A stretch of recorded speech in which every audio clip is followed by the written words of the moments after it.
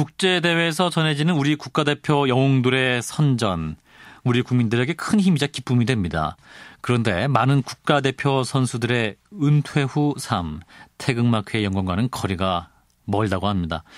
이번 주에는 1990년 아시안게임의 역도 스타이자 금메달리스트였던 김병찬 선수가 생활고와 지병에 시달리다가 홀로 사망했다는 소식이 전해지면서 엘리트 체육인들에 대한 복지가 재조명되고 있는데요. 이에 대해서 체육계에서는 체육인 복지법이 하루빨리 제정돼야 된다라는 목소리가 나오고 있습니다. 한국 남자 배구 스타였죠. 대한민국 국가대표 선수회 장윤창 회장 연결해서 현장 목소리 들어보겠습니다. 회장님 안녕하십니까? 네, 안녕하세요. 예, 반갑습니다. 자, 네, 먼저 반갑습니다. 대한민국 국가대표 선수회 어떤 모임인가요? 어, 저희들은 각 종목에 태극기를 달고 국제대회를 참가했던 어, 대표 선수들, 전현직 선수들이 다 포함되어 있는 모임입니다. 약 예. 2만 5천 명 정도의 모임이죠. 예. 아, 그렇군요. 굉장히 많은 또 선수들. 그러니까 거의 모든 종목의 대한민국 대표 선수들의 모임이네요. 예, 전 종목입니다. 예. 예, 그렇군요. 자, 이제 김병찬 선수가 이제 금메달 리스트로서 또 사랑을 받던 역도 스타였는데 이 사망 소식 듣고 참 상심이 크셨을 것 같습니다. 어떠셨나요? 예, 우리 선수들이 모두가 좀 허탈한 심경이고 뭐 자기감이 크죠. 아, 저희들이 좀 뭐 어떻게 보면은 이게 계속 어, 선수로서 활동했을 때는 뭐 많은 스포트라이트 받고 네. 관심의 대상이었지만은 결과적으로는 은퇴 후에는 음, 어떻게 보면 버려지는 거죠. 사후 관리가 제대로 되지 못하다는 거. 예, 예. 선수들이 지금 상당히 많이 자괴감에 빠져 있습니다. 예. 그렇군요. 이제 많은 은퇴한 선수들이 큰 충격에 빠져 있다는 말씀인데 고 김병찬 선수 총만 받는 이제 유도 선수였습니다만은 이제 불의의 사고로 하반신 마비가 된 뒤 선수생활을 은퇴했었잖아요. 이제 그 후에 네, 예. 국가에서 어떤 지원을 받았었습니까? 50만 원 정도 지원을 받고 있었습니다. 아하, 예. 그 역도 선수로서 메달을 따고 이제 50만 원 정도의 연금을 받았던 건데, 근데 이제 대회에서 이제 금메달 딴 후에 20년이 흘렀습니다만은 물가 상승분이라든지 그런 부분들이 좀 연금에 반영이 안 된 거네요. 아 전혀 이 이미 20년 전에 그대로입니다. 예. 그렇군요. 지금 김병찬 선수 같은 경우는 또 불의의 아, 교통사고를 당하 사고를 당해서 예. 하반신을 쓸 수 없기 때문에 그 삶에 살아가는데 자기 스스로 의지력으로 살아갈 수 있는 상황이 아니었거든요. 예, 예. 그렇군요. 어, 그런데 최저 성계비 지원은 왜 받지 못했습니까? 아, 저희들이 그 체계 생계비가 지금 49만 원 정도가 되는데 예. 김병찬 선수는 50만 원이 됐기 때문에 예, 예. 그 20만 원 사이에 따라서 그가 아마 전입금이 못 어, 되지 않았다는 그게 너무 어, 현실하고 동떨어진 어떻게 보면 뭐 규정에 의한 것만 하지 사람이 살아갈 수 있는 최소한의 그런 행정적인 뒷받침이 돼야 되는데 그런 게 전혀 돼 있지를 않은 거죠. 예. 이제 선수의 회장으로서 이제 많은 분들을 챙기셨을 텐데 혹시 김병찬 선수 생기가 얼마나 어려웠는지 혹시 들으신 바가 있습니까?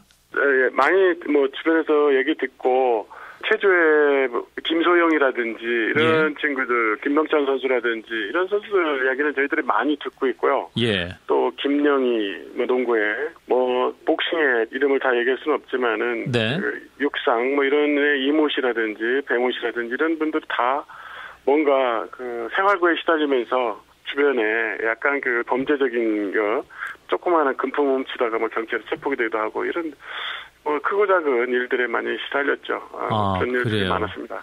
예. 예, 이제 대한민국 대표했던 운동 선수들이 이제 생활에 너무 시달리다 보니까 당연히 이제 절도죄는 이제 지양돼야 되지만 그러한 상황에 그렇죠. 몰리는 것 환경 자체가 좀 문제가 있는 것 같다는 말씀이에요. 네, 당연하죠. 예. 자, 우리 이제 국가대표 선수들이 은퇴를 하지 않습니까? 그럼 은퇴를 하게 네. 되면 주로 어떤 직종에서 일을 하고 있나요?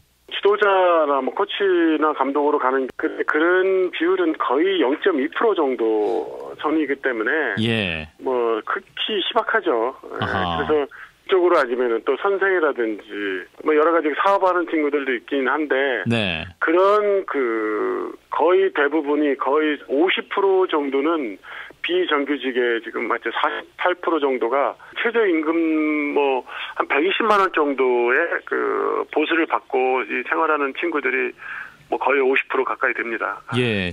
그리고 이제 메달리스트들 상황이 이렇다면 사실 메달을 따지 못했던 국가대표 선수들은 더 어려운 거 아닌가요? 아 당연하죠. 아 정말로 그래서 저희들이 국가대표 선수에서는 그 대표 선수들의 그 복지를 위해서 예. 또 권리를 찾기 위해서 약간 여러 가지 지금 다양한 시도를 하고 있습니다. 예. 그래서 사회에 적응할 수 있도록 제2의 인생을 살아갈 수 있도록 뭐 아카데미를 통해서 교육을 통해서 뭐 다각도로 지금 노력을 지금 하고 있는데 예. 현시나 행정부나 정부기관 그 문화체육관광부 그 선수를 관리할 수 에, 가는 어, 관리하는 곳 이런 곳들은 아직 그런 데까지 미치지 못하고 있죠. 예. 아카데미는 뭘 말씀하시나요? 어떤 직업 훈련을 말씀하시는 거죠?